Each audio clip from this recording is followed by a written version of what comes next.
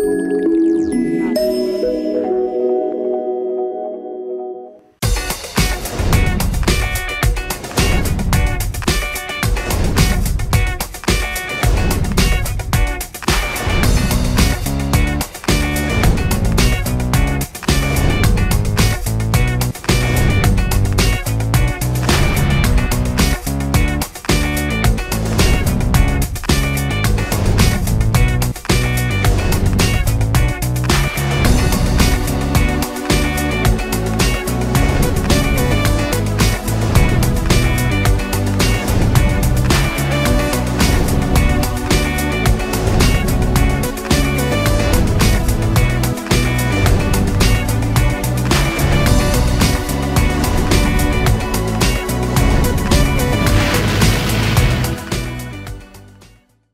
제가 정말 이런 자리가 너무 어, 처음, 처음 이렇게 해서 강연을 강의를 한다는 거, 내 얘기를 한다는 게 정말 처음이라 많은 사람들 앞에서 많이 떨리고 연기의 연자도 몰랐지만 친구들하고 놀고 얘기하고 술 먹고 연기에 대한 얘기는 전혀 하지 않았고 어떻게 놀까?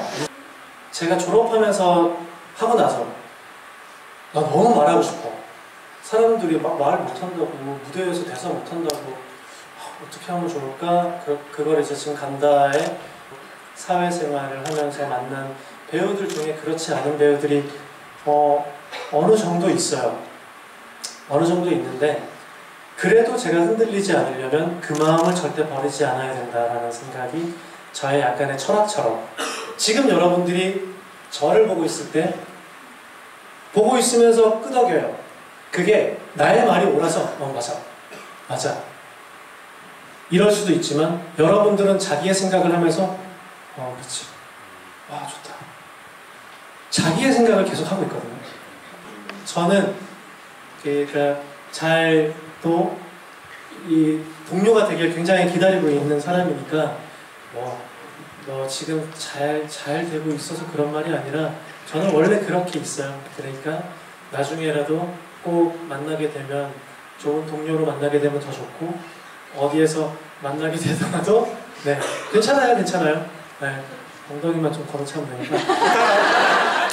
만나게 되면 꼭 저 이렇게 만났었다고 그렇게 얘기하면 또 좋은 인연이 될 수 있으니까 꼭 그렇게 현장에서 아니면 어- 어디에서거나 만났으면 좋겠습니다.